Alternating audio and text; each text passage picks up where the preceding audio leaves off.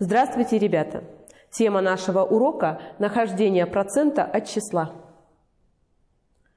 Сегодня на уроке мы будем с вами учиться находить процент данного числа, процентное отношение одного числа к другому и наоборот.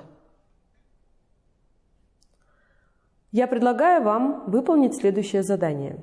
Для каждой фразы левого столбца подберите соответствующую фразу правого столбца. Например, 100% учащихся школы – это все учащиеся школы.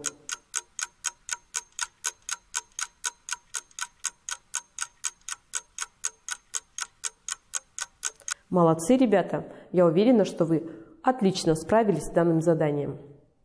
25% учащихся школы – это четверть всех учащихся школы.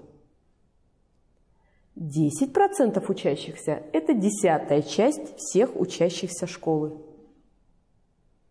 И 50% учащихся школы – это половина всех учащихся школы.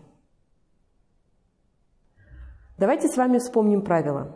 Чтобы выразить процент дробью или натуральным числом, надо число процентов разделить на 100. И чтобы выразить дробь или натуральное число в процентах, надо его умножить на 100 и к полученному результату приписать знак процента. Чтобы найти проценты от данного числа, мы используем следующий алгоритм. Первое – это нужно выразить проценты обыкновенной или десятичной дробью. И второе – умножить данное число на эту дробь. Давайте рассмотрим такую задачу. 17 двадцатых яблока составляет вода.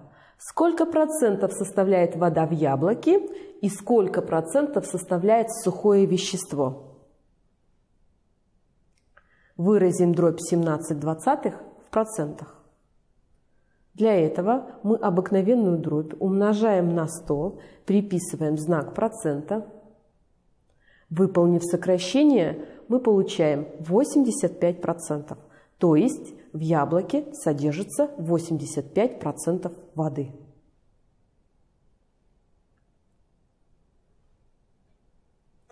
Далее мы найдем, сколько содержится сухого вещества в яблоке. Для этого от 100%, то есть это масса всего яблока, мы вычтем 85%, это масса воды, которая содержится в яблоке. В результате мы получаем 15%. То есть сухое вещество в яблоке составляет 15%. Следующую задачу, ребята, попробуйте выполнить самостоятельно. Она аналогична предыдущей задаче. 9 десятых капусты составляет вода.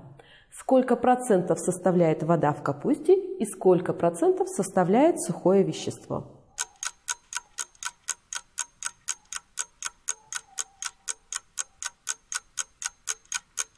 Давайте, ребята, проверим ваши ответы.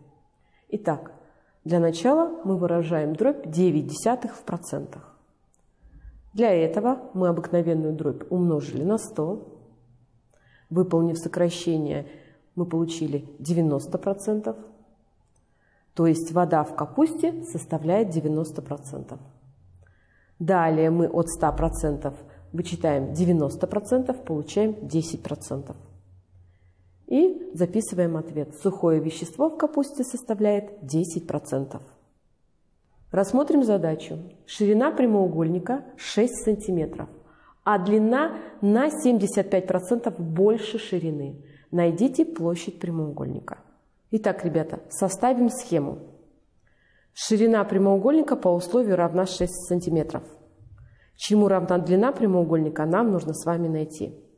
При этом по условию задачи сказано, что длина прямоугольника на 75% больше его ширины. Таким образом, мы величину, равную 6 см, то есть ширину, принимаем за 100%. Раз длина больше, 70, больше на 75, то мы составляем такое выражение. 100 плюс 75 будет равно 175. Теперь используем с вами формулу для нахождения длины. Итак, у нас величина А равна 6, P у нас равно 175, и B нам нужно найти. Проценты мы выражаем десятичной дробью. Для этого мы 175 разделили на 100, получили 1,75. И 6 умножаем на 1,75, получаем 10,5. То есть длина прямоугольника равна 10,5 сантиметра. Далее мы находим площадь. Нам известно, чтобы найти площадь прямоугольника, мы должны длину умножить на ширину. В результате мы получаем, что площадь данного прямоугольника равна 63 квадратным сантиметрам. Записываем ответ данной задачи. Площадь прямоугольника 63 квадратных сантиметра. Рассмотрим еще одну задачу. Банк начисляет на вклад ежегодно 9% от внесенной суммы. Клиент сделал вклад в размере 2 миллионов 750 тысяч тенге. Какая сумма будет на его счету через год? Итак, размер вклада равен 2 миллионам 750 тысячам, что составляет 100%. По условию задачи ежегодно на данный вклад начисляется процент, который равен 9%. Тогда через год сумма в банке будет составлять 109%. Давайте с вами вычислим, сколько это будет в тенге. Итак, мы используем основную формулу процентов, подставляем значение вместо А 2 миллиона 750 тысяч, P у нас равно 109, мы 109 разделим на 100 и получим такое выражение – b равно 2 миллиона 750 тысяч умноженное на 1,9. В результате мы получаем 2 миллиона 997 тысяч 500 тенге. Именно такая сумма будет на вкладе через год. Туристы за три дня прошли 90 километров.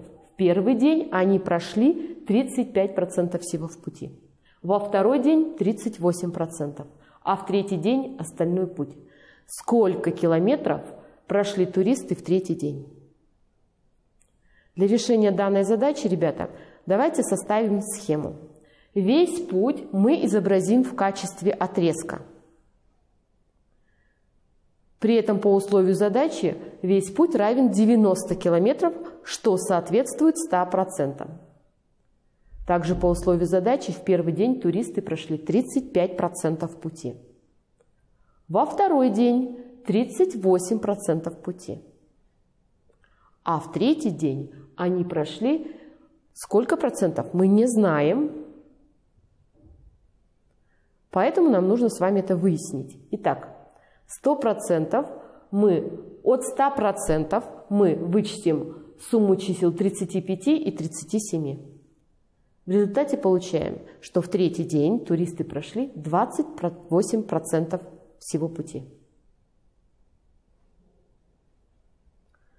Составим выражение для того, чтобы выяснить, сколько километров прошли туристы в третий день, так как именно в этом заключается вопрос задачи. Итак, 28 мы делим на 100, получаем десятичную дробь, 90 умножаем на 0,28, получаем 25,2 километра. И записываем ответ. В третий день туристы прошли 25,2 километра.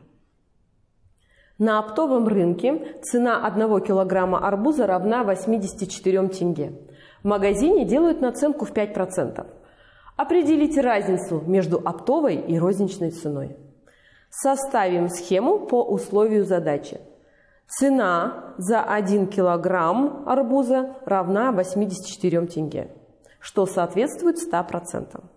При этом магазин делает наценку равную 5%. Нам с вами нужно найти, чему будет равно 5%. Итак, мы используем с вами основную формулу процентов – 5% мы делим на 100, получаем десятичную дробь 0,5. Подставляем известные значения в формулу. То есть, ребята, разница между оптовой и розничной ценой составляет 4,2 тенге. Именно такую наценку делает магазин на 1 килограмм стоимости арбуза. Подведем итог урока. Сегодня на уроке мы учились с вами находить процент данного числа, процентное отношение одного числа к другому и наоборот. На этом, ребята, наш урок подошел к концу. До свидания.